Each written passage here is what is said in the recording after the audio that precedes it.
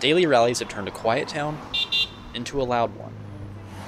These Black Lives Matter supporters believe their critics are making the most noise. It's a rare day if we don't have somebody come up and harass us. Just up the road, a politically conservative group named Reclaim Ellensburg shares the same sentiment.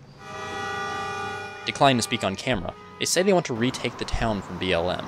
Well, I appreciate that they call it reclaiming Ellensburg. That means they ceded the town to us. Thank you very much. I do appreciate that Ellensburg belongs to us. It does not belong to hateful bigots. Reclaim Ellensburg insists they aren't the bigots, and that BLM promotes hate and un American ideas. BLM protester Sarah Omrani says her group has a rule not to engage with boisterous critics.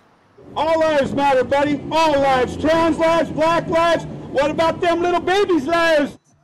They sport body cameras in case an altercation ever breaks out. If was in charge, you'd probably be dead, buddy.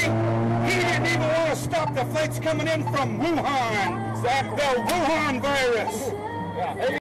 How dare you? We have a lot of people that, that drive by and honk and wave and raise their fist and thumbs up.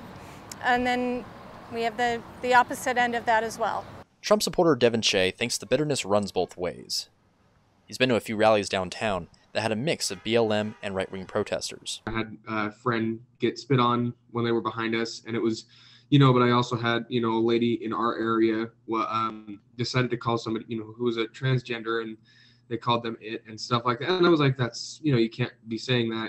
As the clock ticks faster towards November's election, neither group plans on going away. I think we have an opportunity to, to make a real change.